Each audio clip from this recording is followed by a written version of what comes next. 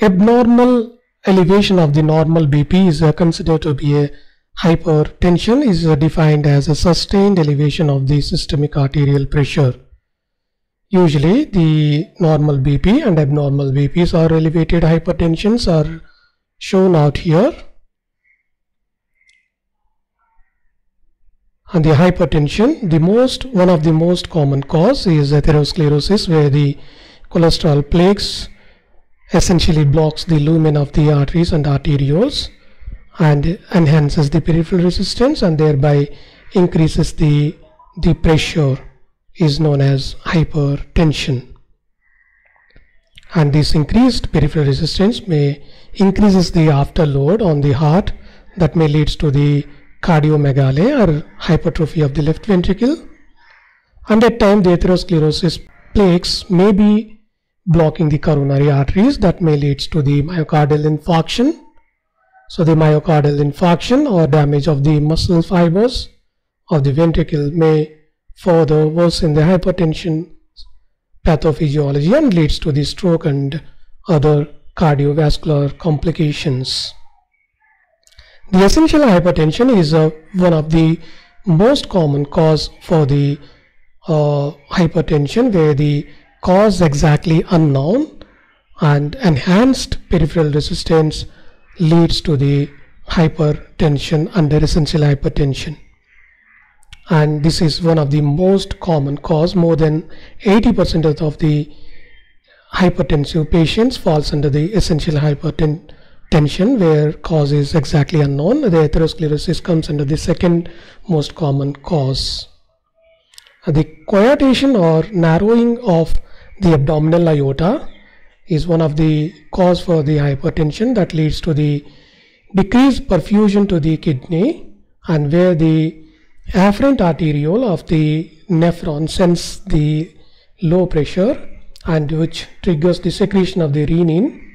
Renin is an enzyme which activates the renin-angiotensin axis activation so thereby further increases the hypertension.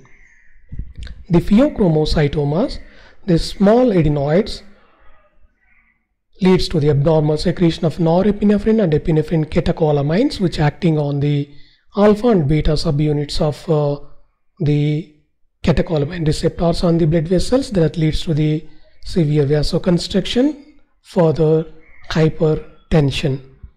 Any abnormal secretion of the aldosterone by itself from the zona glomerulosa leads to the excess mineralocorticoid activity on the collecting ducts of the nephron, increases the basolateral sodium potassium pump and uh, epithelial sodium channels that leads to the excessive retention of the sodium further leads to the hypertension because of excessive retain of sodium. This is comes under the primary aldosterone secretion or activity.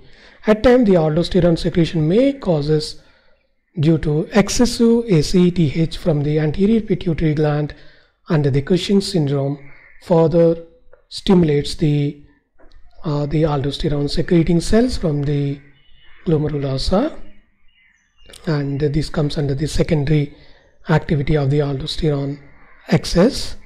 So further increases the sodium retention by epithelial sodium and basolateral sodium potassium pump leads to the hypertension and further pill hypertension where the hypertension is seen in the population who excessively use the contraceptive pills where the elevated estrogen levels in the body may stimulate the RVLM rostroventrolateral medulla of the vasomotor center that may leads to the sustained elevation of the BP further hypertension. Lastly, Liddle syndrome is a genetic uh, disorder where the epithelial sodium channels activity becomes very excessive because of abnormal mutation of the alpha or gamma subunit of the epithelial sodium channels that further leads to the excessive retention of the sodium into the blood leads to the hypertension. These are all the basic pathophysiological causes or basis of the hypertension.